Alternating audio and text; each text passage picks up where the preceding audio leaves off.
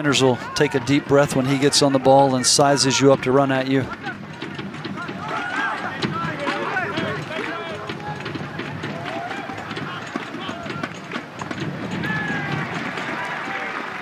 Scooped up there by Ndema.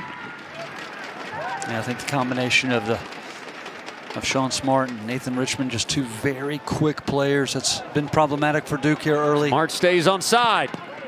Into the middle. Deflected it in.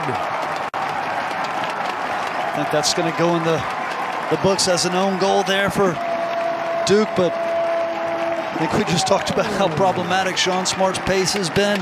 We'll have a look here.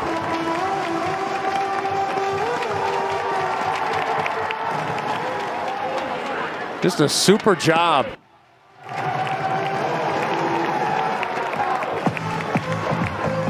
Was that Kerr?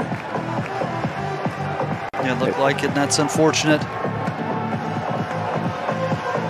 That was five. Antino Lopez yeah, Antino caught the cleat.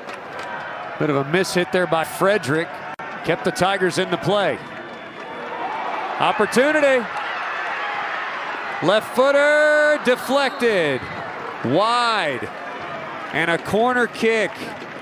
Shaped away from Ndema behind that Clemson back line. It'll be Mesalles.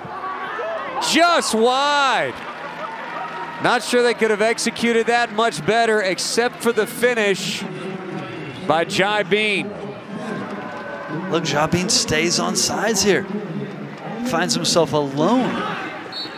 Battle and a foul on Smart. Good little shoving match there. Kenny Hot. And a yellow card has been issued on the wing. Plays it across. Hot, big boot, off the bar, rebound to Ndema. Well, Kenny Hot has a go, and it actually looked like it was going high and wide, didn't it? Have a look here from better part of 25 yards. Look at it, just dips. And then the follow-up, I think that was the Bear getting on the follow-up. It's just hard to generate a lot of power on that header. Can Duke capitalize? No. And that's going to be a foul. That's going to be on the Tigers. Yep, they're going to play it back from the point of the contact. Yeah, it looked like it was Cameron Kerr and Alex Meinhardt just just got tangled up, but can he and Richmond combine? Richmond playing with six defenders around him. Smart! Deflected and a corner kick coming for Clemson. Tell you what, both teams have really had a hard time just piecing anything together without resistance. That's taken away by Silla. Three on three. Moves it into the middle. Shot. Scooped up. Wasting time, and I think that's Coach Noonan's argument. But he stopped the clock on this restart. And into the back. I think that was Tyler Trimble that got on the end of that.